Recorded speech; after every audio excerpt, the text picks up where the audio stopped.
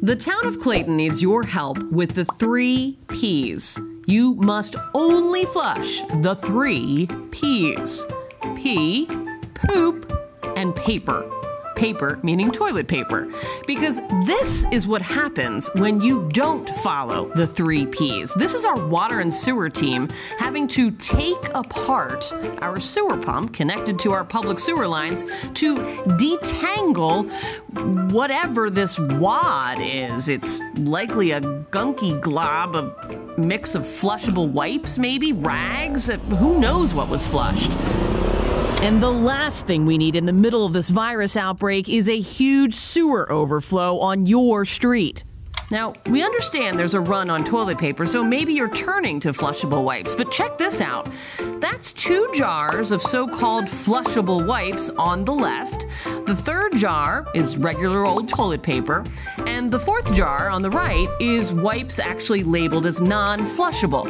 Well, after a full day of spinning in water, the toilet paper is disintegrating, but the ones marketed as flushable on the left and the non flushable wipes on the far right none of them have broken down at all. So, they may be marketed as flushable, but flushable wipes are not. Please put them in the trash. And when they're flushed, or when anything that's not the three P's is flushed, they head into our sewer lines, they get caught up in roots that penetrate the pipes like this, or they compound a problem we already have and it's always building that grease that's caking up on the sides of our sewer lines. You see it all there?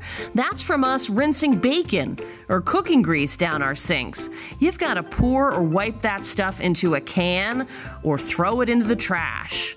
So remember, not down the drain. And it's a toilet, not a trash can. Please do not flush flushable wipes. Yes, again, they might claim on the package that they're flushable, but these wipes do not break down. Please put them in the trash. Anything plastic, don't flush it.